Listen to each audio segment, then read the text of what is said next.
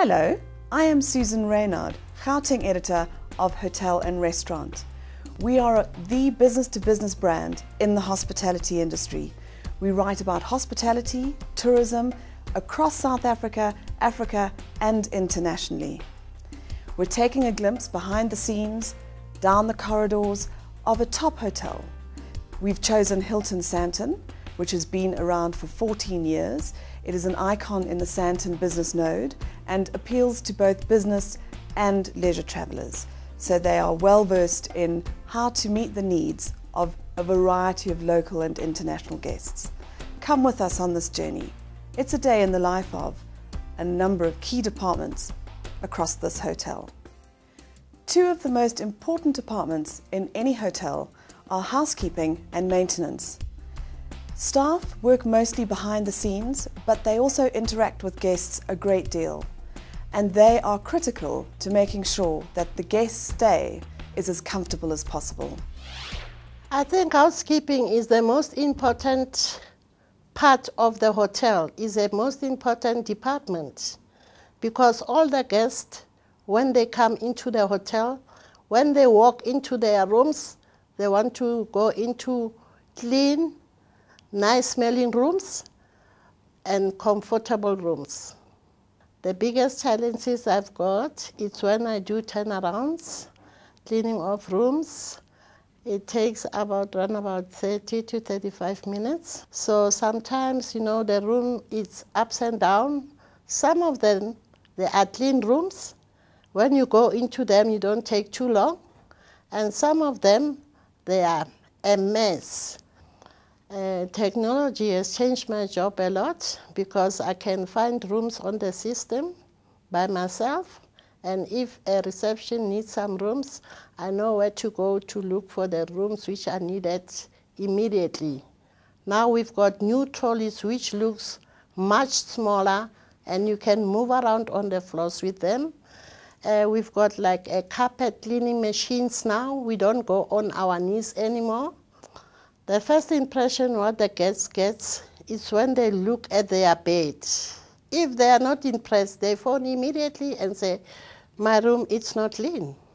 On arrival sheet, when we see the regular, the regular guest name, we know what he needs of what she needs in a room. So when she arrives, she finds everything is already in the room for him or for her.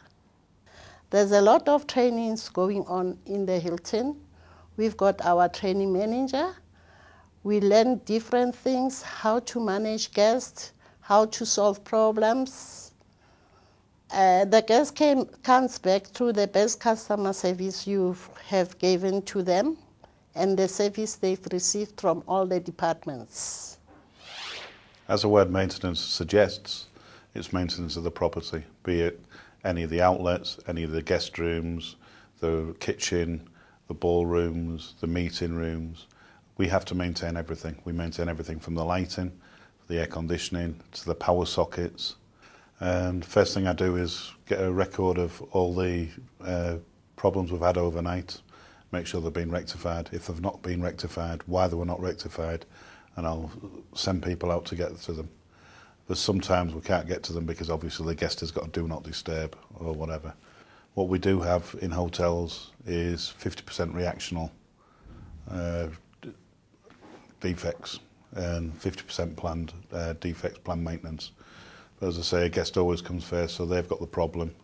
We'll, we'll dispatch and get the problems done, sorted out as soon as possible. Percy, how do guests report a problem and get through to maintenance? Uh, in this hotel, we've got a system we call Smart Butler. A guest phones our, our uh, front desk.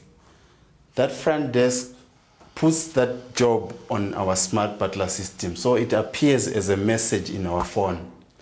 So they can get hold of you anywhere in the hotel, you know which room, what the problem is. Yeah, as soon as the guest reports a fault, as soon as it goes there, we get it immediately. I need people who work for me to be qualified. I need electricians, I need air conditioning uh, technicians, I need plumbers, yeah, people to look after the kitchen or the gas equipment, you need to be qualified and have had a trade. We do do certain uh, on-the-job training for people uh, who are handymen, change light bulbs, uh, help a guest when a guest has a problem, tuning the TV. But we mainly to make sure the hotel works properly with our our ongoing plan maintenance. We need qualified people to rectify major jobs. Things break down regularly. I mean, you look at this hotel, 329 rooms, 1,500 banqueting places. There's lots of things that can break, from light bulbs, which regularly go, uh, shower mixes that start leaking, air conditioning. There's things going all the time. I've had a situation where our building management system has failed at one o'clock in the morning. The hotel had no water. I've had, which becomes a crisis, not at one o'clock because not a lot of people are using it. When people start getting up at five o'clock, ready for the full day, that becomes an issue. As an engineer, my scope of the job is clear. However, as hotels are part of a team, if something happens that they need my assistance, I will go.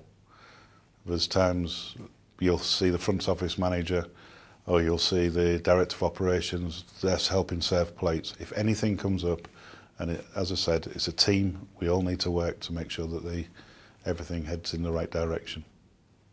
As I mentioned before, teamwork. If everybody works as a team, everybody is pleasant, the guests will come back.